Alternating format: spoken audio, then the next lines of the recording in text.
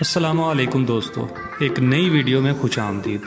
دوستو، کوک studio season آٹھ میں عاطف اسلم کی خوبصورت آواز میں گائی گئی قوالی تاجدار حرم آج بھی لوگوں کے ذہنوں میں تازہ ہے۔ عاطف اسلم کی آواز میں گائی گئی یہ قوالی کوک سٹوڈیو کے مقبول ترین ٹریکس میں سے ایک ہے، جس کے ویوز کی تعداد بھی کروڑوں میں ہے۔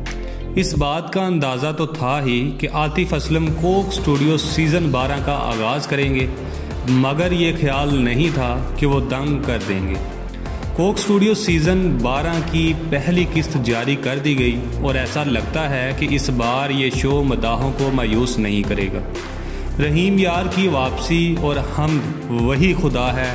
میں عاطف اسلم کی پرفارمنس نے کوک سٹوڈیو کے حوالے سے مداحوں کی توقعات کو مزید بڑھا دیا ہے۔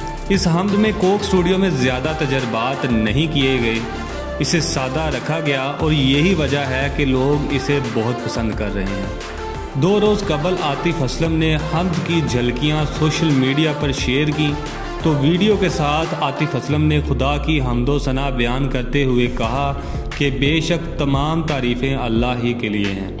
عاطف اسلم نے ویڈیو میں حمد پڑھنے اور خدا کے ساتھ اپنے روحانی رابطے کا تجربہ بھی لوگوں کے ساتھ شیئر کرتے ہوئے کہا تھا کہ جو دل سے چیز پڑی ہوئی ہوتی ہے، وہ آپ کے حضور ضرور قبول ہوتی ہے۔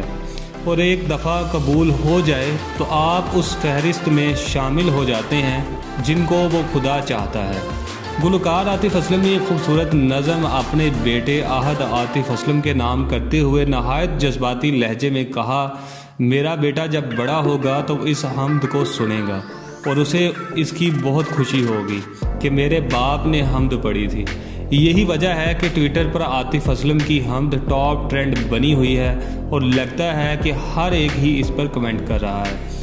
خیال ہے کہ سیزن بارہ میں عاطف اسلم، راحت علی خان، حدیقہ کیانی، ابرار الحق آئمہ بیگ، شجاع حیدر، علی سیٹھی، فرید ایاز، فریحہ پرویز، کاشف، نمرہ رفیق قرات العین بلوچ، ریچل بکاجی ساہر علی بگا سنم ماروی، شام حسین، عمیر جسوال سمیت بہت سے گلوکار پرفارم کرتے نظر آئیں گے۔ تو دوستو، آپ اس ویڈیو کے بارے میں کیا سوچتے ہیں؟ اپنی رائے کا اظہار کمنٹ کی صورت میں ضرور کریں۔ اگر ویڈیو اچھی لگے، چینل کو سبسکرائب کریں، ویڈیو کو لائک کریں۔ تب تک کے لیے دے اجازت۔ اللہ حافظ۔ اللہ